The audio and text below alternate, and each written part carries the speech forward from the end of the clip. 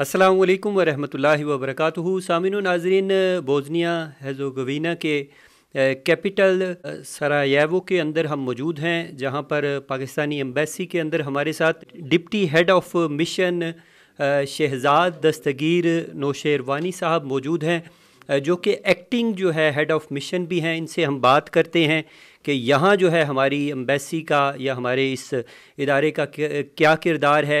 और फिर यहाँ पर कम्युनिटी के हवाले से भी जानेंगे। पहले तो मैं बड़ा शुक्रगुजार हूँ आपका वक्त देने का।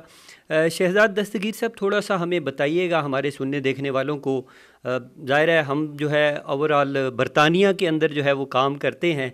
तो यहाँ पर जो हेड ऑफ़ मिशन है, इसके क्या कारगुजारी होती है, क्या मकसद है, उस हवाले से थोड़ा सा देखने सुनने वालों को बताइएगा। हाँ जी अलैक्म जी, बहुत शुक्रिया।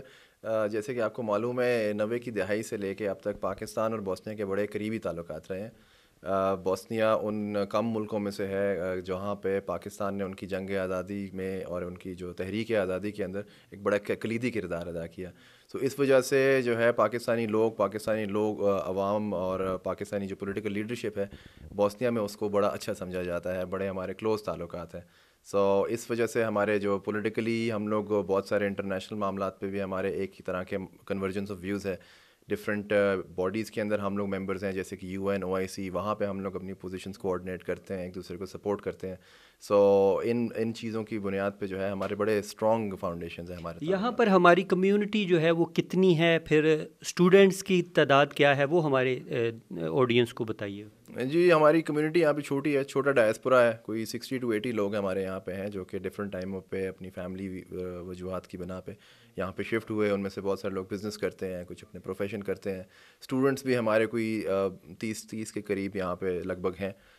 उनकी भी जो है वो नंबर वेरी करता रहता है। सो so, माशाल्लाह बड़ी एक्टिव और बड़ी क्लोजली हमारे साथ अच्छा ये बताइएगा कि जब अम्बेसी का या कौंसलेट का या हाई कमीशन का ज़िक्र आता है तो फिर वहाँ पे नादरा पासपोर्ट या वीज़ा सेक्शन जो है वो भी लोगों के जहन में जो है वो गूंजता है। तो यहाँ भी कोई ऐसी एक्टिविटीज़ होती हैं? जी, जो डायस्पोरा यहाँ पे हमारा लिमिटेड है, उनको ना सिर्फ़ हम लोग पासपोर्ट और अटेस्टेशन की जो है सहूलत देते हैं, बल्कि जो वीज़ा प्रोसेसिंग है, वो भी हम लोग यहीं पे खुद ही करते हैं। हमारा छोटा सा मिशन है, सारा कुछ हम इन हाउस करते हैं। हमारे पास कोई दूसरा विंग नहीं है। सो इन हाउस अपने रिसोर्स के ऊपर हम ये सारी चीज़ें जो है वो फराहम करते हैं, ना सिर्फ़ यहाँ के डायस्पोरा को बट जौन से लोग क्रोएशिया और बोस्निया से। पाकिस्तान विज़िट किसी बिज़नेस किसी टूरिज़्म करने के लिए जा रहे होते हैं उनकी वीज़ा प्रोसेसिंग भी हम लोग यहाँ पर पाकिस्तानी जो है उनके लिए क्या अपॉर्चुनिटी है? अगर वो वहाँ से आना चाहें तो यहाँ पर क्या उनके लिए इंगेजमेंट हो सकती है? क्या वर्क अपॉर्चुनिटी है?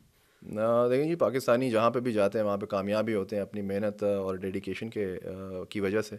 सो इसीलिए पाकिस्तानी डायस्पोरा पूरी दुनिया में जो है बड़ा कामयाब और बड़ा वाइब्रेंट है। तो सिमिलरली यहाँ पे भी जितनी बिज़नेस अपॉर्चुनिटीज़ हैं लेबर मार्केट में अगर कोई गैप्स हैं तो पाकिस्तानी जो है वो इसको बड़ी अच्छी तरीके से प्लग इन कर सकते हैं। जैसे कि आपको मालूम है मिडिल ईस्ट के अंदर भी उसकी ग्रोथ भी पाकिस्तानी डायस्पोरा और Pakistani labour man force man power की बिना पर हुई है। तो यहाँ पर भी हम लोग जो है वो मौाक़े ढूंढ रहे हैं कि पाकिस्तानी मैन पावर अपना किरदार अदा कर सकें। शहजाद दस्तगीर साहब, जब बोजनिया का ज़िक्र आता है तो फिर बड़ी एक तलख हकीकत है जो 1992 से 1995 तक जो है जुलाई का जो एरिया था। सबनीसा के अंदर क्या हुआ? पूरे ओवरऑल जो है बोजनिया के अंदर एक लाख जो है वो कत्ल आम किया गया। नस्ल कुशी के वाक़ात रूनमा हुए।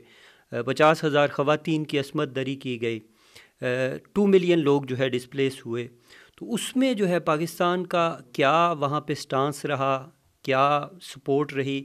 उस हवाले से देखने सुनने वालों को थोड़ा सा बताइएगा। जी, ये बेसिकली यहाँ की जब बॉस्निया ने अपनी इंडिपेंडेंस का ऐलान किया तो Pakistan was one of the first countries जिन्होंने इसको, इसकी इंडिपेंडेंस को तस्लीम किया, इसके साथ रिलेशन इस्टेब्लिश किए और थ्रू आउट नाइनटीन से बाद स्पेशली जब पाकिस्तान के पास ओ की चेयरमैनशिप थी तो ओ के प्लेटफॉर्म पर बायोलैटरली हर फोरम के ऊपर यूएन के फोरम के ऊपर ह्यूमन राइट्स कमीशन के फोरम के ऊपर पाकिस्तान ने बोस्निया केस लड़ा।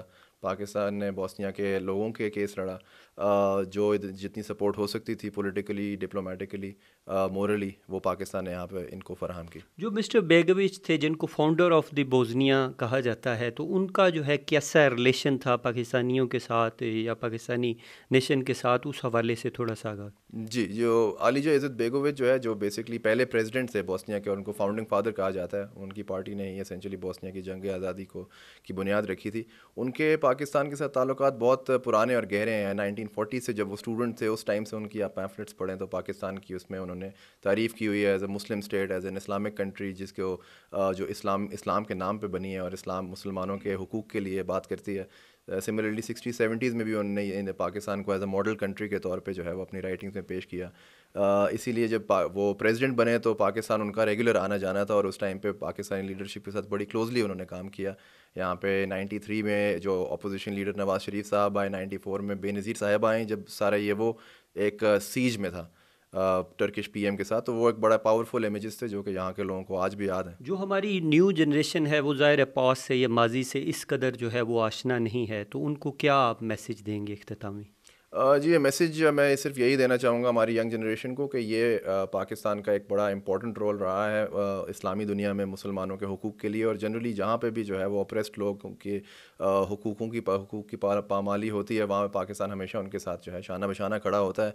तो इस, हमारी इस पुराने ग्लोरियस पास्ट को जो है ना हमें भूलना नहीं चाहिए, इस चीज़ को हमें रिकगनाइज़ करना चाहिए और हमें आगे आने वाले हर बंदे को, हर पाकिस्तानी को जो है वो इन्हीं मॉरल स्टैंडर्ड्स को मेंटेन करना है मैच करना है और ऑपरेस्ट लोगों की सपोर्ट करना जी, बहुत शुक्रिया। आपने जो है एहसास ख्याल और जज्बात, तासरात सुने। Deputy head of the mission Sarajevo के अंदर, बोजनिया हजोगवीना के अंदर हमारे शहजाद दस्तगीर नौशरवानी साहब के।